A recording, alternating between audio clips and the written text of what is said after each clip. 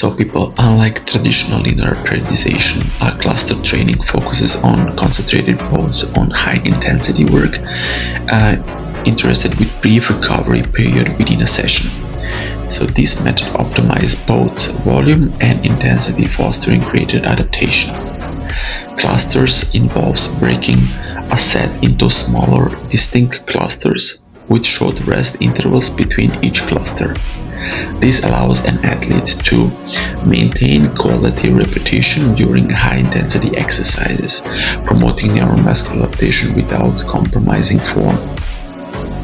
So the method is particularly effective for those who want to improve strength, power and skill-specific tasks. Uh, one of the key advantages of cluster training lies in its ability to avoid fatigue. So by incorporating strategic rest intervals in between clusters, athletes can sustain peak power output throughout the entire session. So this approach challenges the body to adapt to a more dynamic workload um, uh, in, to improve performance, of course, and injury risk uh, uh, of injury.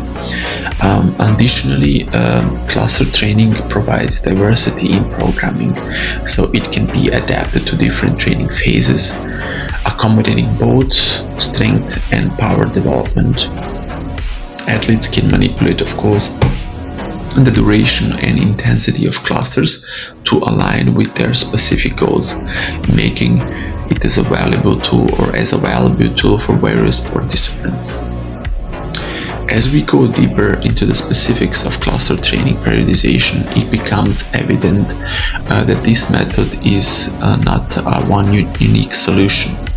So it demands careful planning and individualization based on athletes' needs, uh, sport requirements or discipline and training objectives.